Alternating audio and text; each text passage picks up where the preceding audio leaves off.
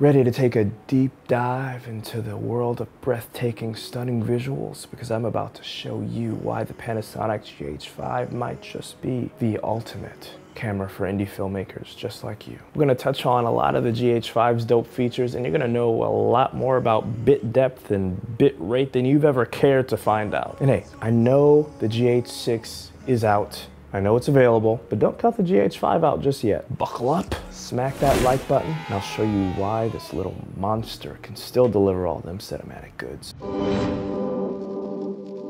Let's get down to business. The GH5 is a beast when it comes to capturing your vision. With its 400 megabits per second, 422 10-bit recording, the GH5 gives you the flexibility to create some stunning masterpieces. Hold up, Allan, 422 10-bit what? Well, let me break it down. 10-bit, okay, 10-bit refers to bit depth. Bit depth specifies how much color information is available in each pixel of an image. More bits per pixel results in more available colors in your image. So 10-bit, what makes it so special? Well, in plain terms, this means that an image produced can display up to 1.07 billion colors and this is a lot. Other less expensive cameras around this price range of the GH5 only does 8-bit. And 8-bit does about 16.7 million colors. Also, FYI, all the footage I shot that you're seeing in these examples are only 8-bit. I didn't even have to go 10-bit to prove how crazy this camera is. With the 10-bit, right, you'll notice that you have a lot more colors to work with and smoother transitions from color to color. And this helps you do more in post-production with that image without deteriorating and ripping away that image quality if you shoot in a flat image color profile like Vlog. And Vlog is just Panasonic's proprietary flat image color profile that they use for, for their Micro Four Thirds camera lineup, which means that there's just a minimal range of colors baked baked into the image. But this enables a colorist in post-production to go crazy in terms of color and creativity with your film without your film image breaking apart. Okay, so 10-bit, we've got that hashed out. 422 refers to how the camera captures color. This is known as chroma subsampling. So let's start off at 444. It refers to how much color information is being recorded at a pixel level. Video typically gets away with less color resolution because it can simply borrow from nearby pixels to generate an image that looks pretty good. 444 is the best and 444 means that there is no subsampling, meaning that each pixel has its own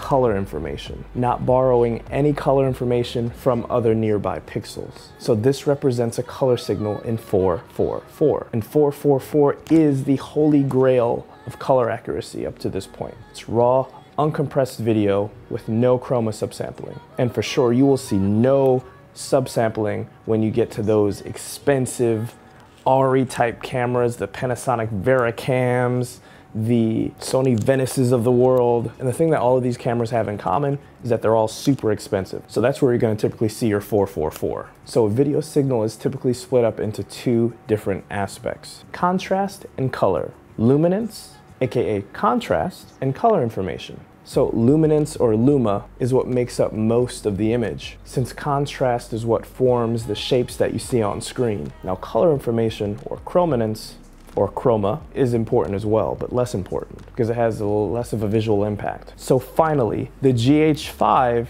has 422. 422 has half of the chroma of 444. And 422 reduces the bandwidth of an uncompressed video signal by one third with little to no visual difference. And this is where you want your image quality to live because audiences will not be able to tell between a 422 image and a 444 image. In simple terms, 422 means a richer color depth than 420, and 420 has slightly less color information. But unfortunately, shooting at 422 comes at a higher price, right? Shooting at 422 is gonna increase the file size in comparison to 420. So it's all about finding the right balance to meet your creative needs. 400 megabits per second, what does that mean? Bitrate refers to the amount of data used to encode video or audio per second. This is the camera's data rate or bitrate. At 400 megabits per second, you get incredible image quality. But remember, it comes at a trade-off, larger file sizes. But trust me, it's worth it. A higher bitrate means sharper, clearer images, more vibrant visuals. That'll take your storytelling to the next level. The Panasonic GH5 gives you two SD card slots, giving you ample storage for all of your creative needs. And even if you want to shoot anamorphic, the GH5 got you in 6K. Just remember you need an external monitor and an anamorphic lens to achieve that cinematic magic.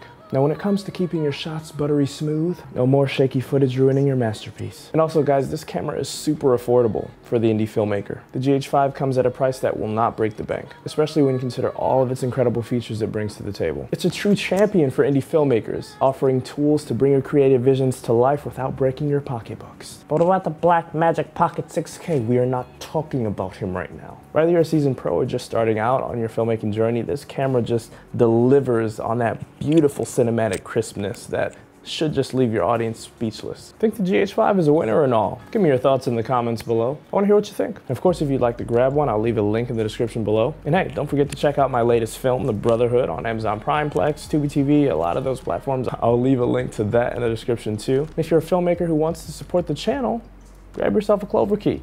It's camera plate, screwdriver, and a bottle opener. DCDM guys, remember always be developing, creating, distributing, and marketing. It's always a blast chatting with you guys.